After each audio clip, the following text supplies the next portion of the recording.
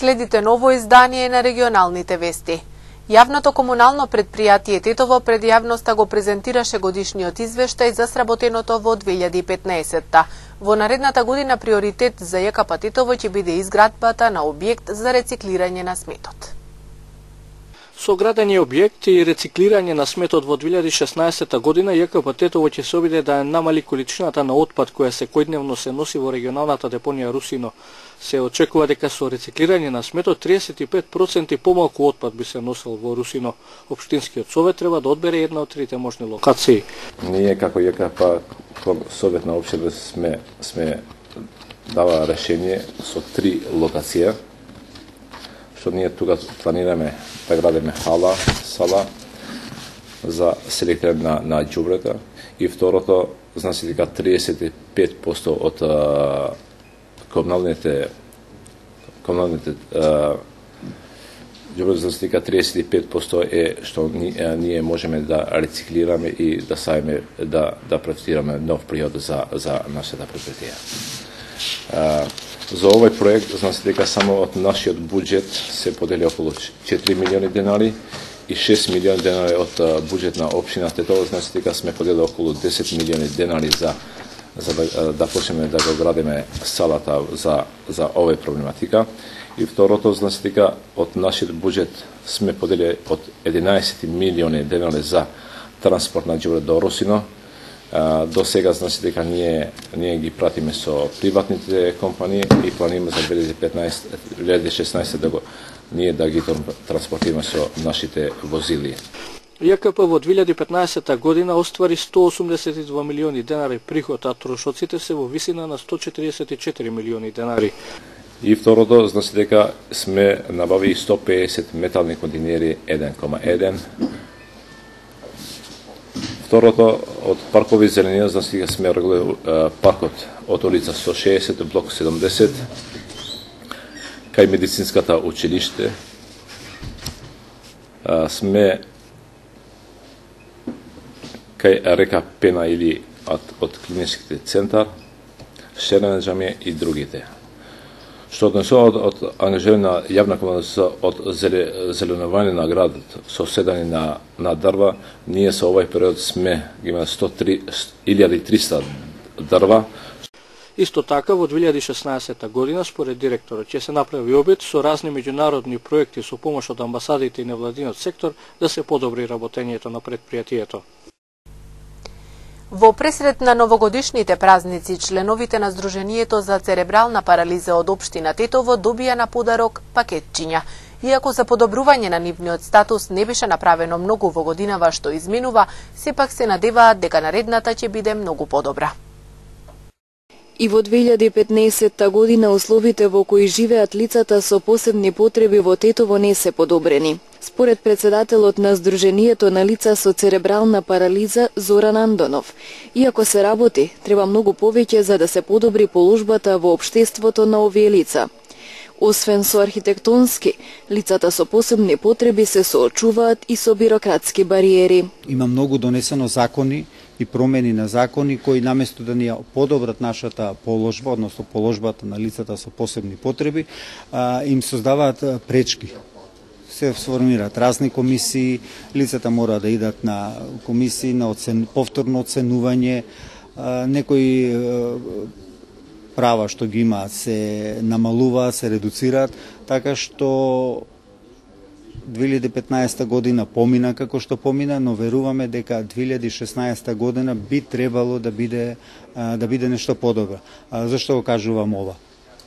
Еве, вчера во Скопје имавме еден многу интересен состанок на кој беа собрани представници од десетина невладени организации од претежно Скопје, но и од други градови во Македонија. Организатор беше организацијата Полио Плюс, а беа присутни и представници, односно пратеници од интерпартиската парламентарна група. А, што е нивната цел? А, а, сакаме, значи, преку а, овие парламентарци кои имаат а, задача да ја поддржат а, работата на ли, односно да, да ги поддржат работата на лицата со посебни потреби, да се издействува сите оние законски промени што сакаме да ги направиме, полесно да дојдат до парламент, односно да лобираат за нашите за нашите барања и тие полесно да пројдат понатам, односно да се усвојат оние барања што ги бараме. Таа цел за да се формира треба да направиме една национална организација, односно да бидат вклучени сите а, здруженија кои се а, кои работа со лицата со посебни потреби. Само на тој начин, значи, сите заедно можеме да направиме нешто повеќе.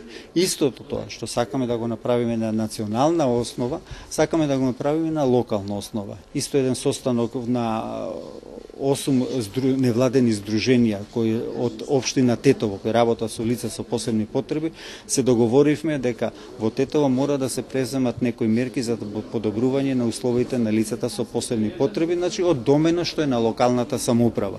Од пристапноста, од паркинг просторот кој еве сега видевте се воведе паркинг па, зонско паркирање, а ни еден паркинг нема место каде е наменет за лица со посебни потреби. Општина Тетово во годинава што изминува ги подобри условите за децата кои посетуваат настава во дневните центри за ученици со посебни потреби. Воведувањето поголем сообраќаен ред во градот ќе му возможи на овие лица полесно движење. За нас бил голем приоритет нормално средување на условите на училниците на децата со посебни потреби и со тоа што имаме направено и во училиштето Лирија и во училиштето Кикиш сум многу задоволна затоа што сме ги кренале стандардите многу високо, така, така да сите тие класови, освен што имаат е, добри училници, имаат е, значи е, телевизии, компјутери, сето тоа што технички им е потребно да имаат добра настава. А, нормално дека исто така меѓу поддршката што ние ја дадовме беше за слепите лица, значи со нив имавме добра соработка во текот на минатата година. Подржувавме двајца ученици кои не можат да следат настава, настава во Тетово, но кои се многу талентирани, следат настава во Скопје. Истото ќе го продолжиме идната година, додека во однос на инфраструктурните решенија во градот. Значи, нормално дека а, за нас во новите инфраструктурни решенија кои ги правиме, максимално се обидуваме значи да имаме пристапност.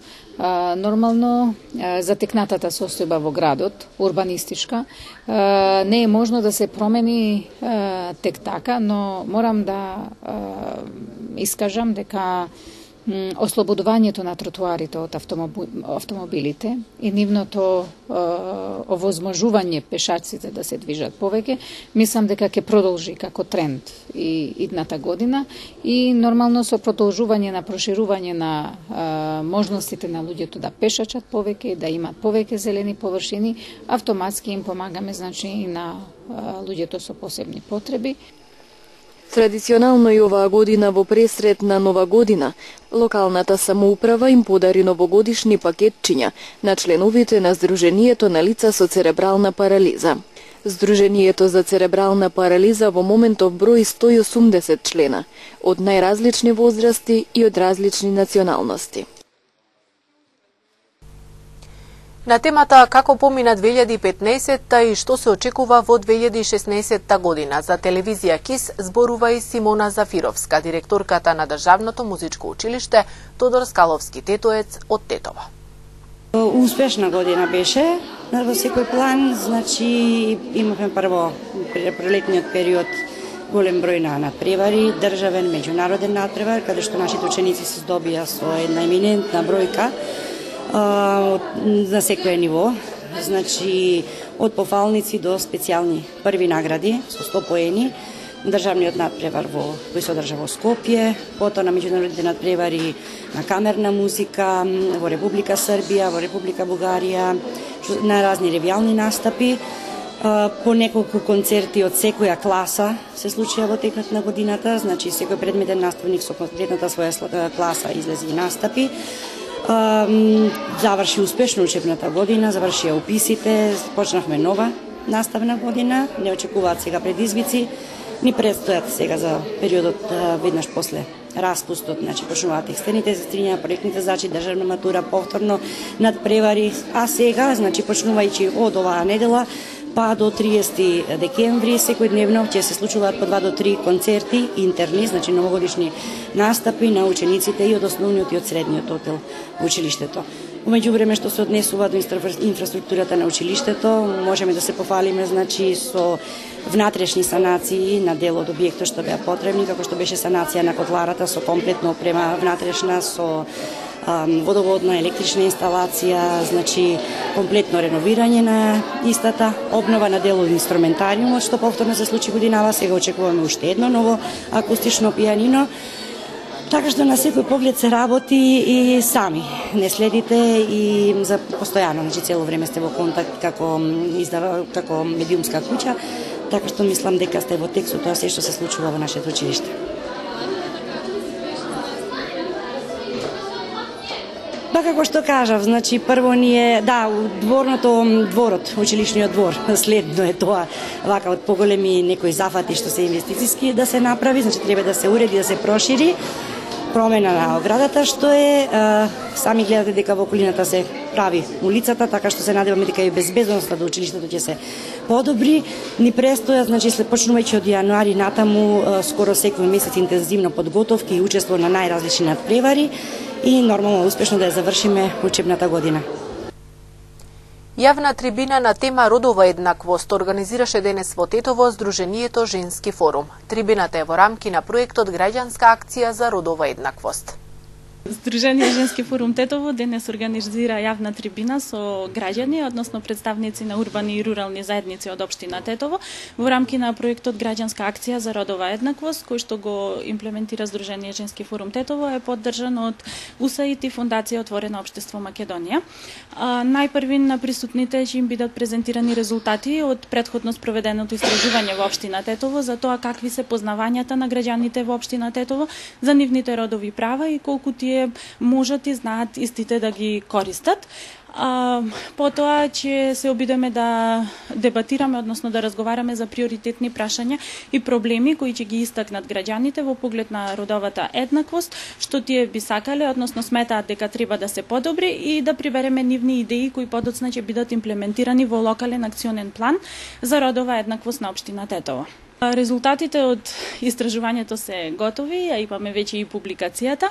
А, граѓаните се многу малку информирани за тоа што представува прашањето за род, што се родовите права, кои механизми можат да ги користат на локално ниво и воопшто на национално ниво а исте случајот и со представници на а, општината, односно локалната самоуправа. Малку подобри беа резултатите кога станува збор за представници на невладини организации, односно на граѓанскиот сектор во општина Тетово и затоа врз основа на овие детектирани проблеми, односно нивото кое што е на познавање што го имаат граѓаните, ќе работиме за негово подобрување, односно ќе предвидиме соодветни активности во локалниот акционен план за да се почувствува напредок во општината. Тетово во поглед на родовата еднаквост. Сообштение до јавноста денес упатија од Обштинската организација на СДС Матетово. На крајот на оваа 2015 година послушниците на премиерот во заменување Никола Груевски го кронисаа своето криминално владење. Уште еднаш бевме сведоци на постапките на советниците на ВМРО ДПМН во Советот на Обштина Тетово, кои се против интересите на граѓаните, а во голема корист на партиските послушници на ДПМН, се вели во писменото сообштение на Обштинската организација на СДСМ Тетово. Имено на вчерашната седница на Советот на Обштина Тетово, после неколку неуспешни убеди за донесување на буџетот на Обштината за 2016 година, координаторот на Советничката група на ДПМН бара пауза за координација без предходно образложение, за да на крајот со 17 гласа за се донесува буџетот без присуство на советниците од опозицијските партии, се вели во партиското сообштение. Оваа постапка на ДПМН уште еднаш ни покаже докаже дека нивниот единствен интерес е нивните лични интереси, интересите на нивните партиски војничиња, стои во партиското сообштение. За нив интересите на граѓаните кои живеат во општина се на дното или воопшто небитни. Сведоци сме на нетранспарентно, криминално и незаконско донесување на буџетот на општината, кој воопшто не е во интерес на тетовци. Ветувањето на ДПМН на последните локални избори во оваа 2015 година падна во вода. Сите ветувања за подобар живот на граѓаните на оваа општина остана само предизборна лага и интрига, се вели во партиското соопштение. Општинската организација СДСМ Тетово со својот представник во Советот на општина Тетово не ја поддржува ваквата криминална сделка на коалицијата и не го поддржува ваквиот криминален и нелегален начин на освојување на буџетот на општината. Општинската организација на СДСМ Тетово најостро ги осудува ваквите нетранспарентни постапки кои се против интересите на граѓаните, стои во партиското соопштение на општинската организација на СДСМ Тетово. Разбойништво во куќа во гостиварското село Топлица. Полицискиот билтен регистрираше и пожар во гостиварското село Сенокос. 40 годишен жител од гостиварското село Топлица пријавил дека вчера вечер околу 20 часот и 30 минути во семејната куќа, во која биле неговите две малолетни керки и внука, преку незаклучена врата влегло непознато маскирано лице и од повозрасната 14 годишна керка побарал да му даде пари и злато. Девојчето исплашено од таквиот развој на случувањето, според незиното кажување, се обидело од кујната да земе некаков предмет и да му се спротистави на непознатиот, кој извадил нож и ја повредил во левата рака, пошто продолжил да и се заканува по животот и да ја прашува каде е златото. По известно време, девојчето на мобилниот телефон наводно разговарало и побарало помош од Чичкој, додека непознатиот со трчање избегал од куќата. Извршен е комплетен увид и нешто подосна во полициската станица во Гостивар. Приведен е 41 годишен жител од истото село, кој се сомниче дека е инволвирано во синокешниот обид за разбойништво. Вчера наутро околу 10 часот избувнал пожар во куќата на 37 годишен жител од гостиварското село Сенокосе. Огнот најнапред пламнал во спалната, пошто се проширил во другите простории, а го сафатил и покривот на куќата, во која се ногела неговата супруга и трите малолетни деца, кои веднаш излегле надвор. Со интервенција на противпожарни екипи од Гостивар, пожарот е локализиран. Вчера вечер во периодот од 20 до 21 часот спроведена акцијска контрола, со која вкупно биле офатени 6 импровизирани објекти за продажба на новогодишни честитки, поставени на улицата Браќа Гиновски во Гостивар. Во контрола од 39 годишник земени се близу 300 на различни видови пиротехнички средства. 39 годишниот гостиварец се приведен, разговарано е со него и по целосно расчистување на сите поединости поврзани со случајот, ќе се соочи со соодветен поднесок. На улицата Јона во Гостивар вчера околу Плавне се случила сообраќајна несреќа во кој учествувале патничко возило Opel Тигра со гостиварски таблици што го управувал 19 годишен жител од гостиварското село Дебреше, кој го напуштил местото на несреќата и велосипед управувано 63 годишник. Во несреќата велосипедистот задобил тешки телесни повреди и покажаната лекарска помош во гостиварската болница, пренесена на скопските клиники. Извршен увид се работи на утврдување на причините за несреќата и другите околности.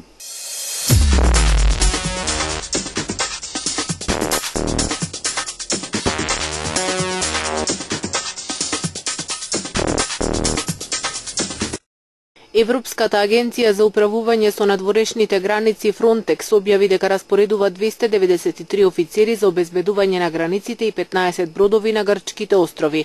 Ова е во рамките на новата операција наречена Посейдон Рапид, побарањето на Грција за дополнителна помош за обезбедување на незините надворешни граници во Егејското море. Бројот на распоредените офицери ќе биде зголемен постепено до над 400 лица и ќе биде зголемен и бројот на бродовите возилата и другата опрема со цел да им се помогне на грчките власти да се соочат со миграцискиот бран, соопшти Фронтекс. Турската полиција уапсила две лица кои се осомничени дека се членови на милитантната група Исламска држава и кои најверојатно планирале напади на Анкара за прославата на Нова година. Обвинителството соопшти дека осомничените влегле во Турција од Сирија. Според обвинителството, тие се осомничени дека подготвувале напад во центарот на Анкара, каде најчесто се прославува дочекот на новата година. Во двоен самоубиствен бомбашки напад во октомври во Анкара загинаа 100 луѓе. Голем број домови, делови во Северна Ирска, Северозападна Англија и југот на Шкотска останаа без струја. Откако доцна синоќе и во текот на ноќта во нов налет на бурата Френк, овие делови на Велика Британија беа погодени од силни ветрови и обилни врнежи од дошт. Само во Северна Ирска без струја останаа околу 2500 домаќинства, а поради големото невреме што ја зафати покраината за сообраќај беше затворен и меѓународниот аеродром во Белфаст. Британската метеоролошка и хидролошка служба веднаш издаде четири нови предупредувања за потенцијално катастрофални поплави во делови од Англија и Вилс, кои би можеле да предизвикаат и човечки жртви, покрај веќе постоечките 48 предупредувања за излевање на надојдените води од коритата на реките и речните канали. Доцна синоќе надојдените води на реката Варф, кај местото Тет Кастер, ур на голем камен мост, прекинувајќи ги цевките за пренос на газ. Десетици луѓе беа итно евакуирани од ова место, поради стравување од можна експлозија на гасот. Метеоролозите предупредуваат дека во регионот на Ирското море се создаваат нови силни ветрови, проследени со порен дошт, што во текот на денешниот ден ќе погодат делови од северозападна Англија, јужна и централна Шкотска, како и Вилс. Се очекува ветерот да достигне и до 130 км на час, а врнежите од дошт на места да изнесуваат и до 100 мм.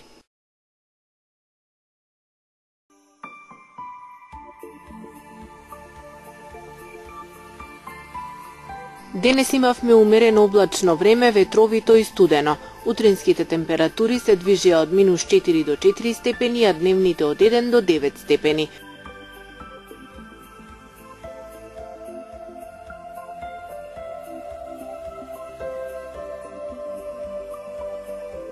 Утре ни очекува претежно сончево и студено време, особено во текот на ноќите и во утринските часови. Утринските температури ќе се движат од минус 10 до 4, а дневните од минус 3 до 6 степени.